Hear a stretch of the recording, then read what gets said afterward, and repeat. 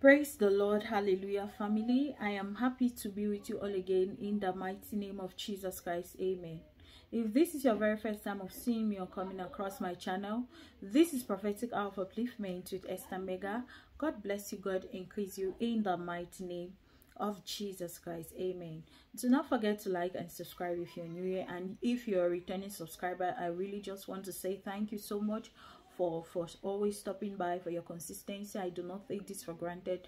Thank you so much. God bless you. In the mighty name of jesus christ. Amen. Hallelujah. My prayer for you is may this word not pass you by as the light of god's countenance shine over you and all that concerns you in jesus mighty name. Amen. Hallelujah. Someone loves you so much to the extent where they are almost losing their minds. Hallelujah they fell in love with you so much to the extent where they're almost losing their minds. Hallelujah. This is how much they loved you.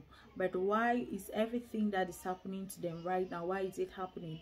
Because these are people that they happen it's someone that happens to be close and they are on they are they are not certain on how you're going to respond yeah they are not going they are not certain on how you're going to respond to them and they are still in they are contemplating they don't know how to go about it. And this is why you know that when someone has feelings for another the burden stays in them.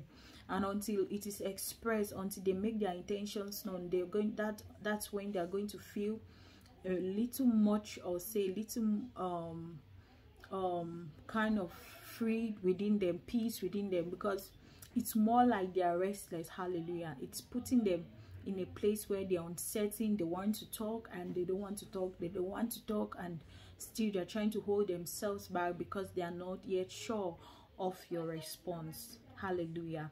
I pray for you in this season that God is going to help you as He brings this person your way, or as He finally brings them to the point where they'll be bold enough to make their intentions known. That God is going to help you in this season with His wisdom and His guidance to do that which you're supposed to do rightly. In Jesus' mighty name. Amen. May the Lord God bless you. May He keep you as it causes the light of countenance to shine over you and all that concerns you. If you feel led to to to or if you would like me to pray with you after now you can go and write me send me a mail. God bless you. God increase you. I love you all so very much and i want to say that you all are special. Amen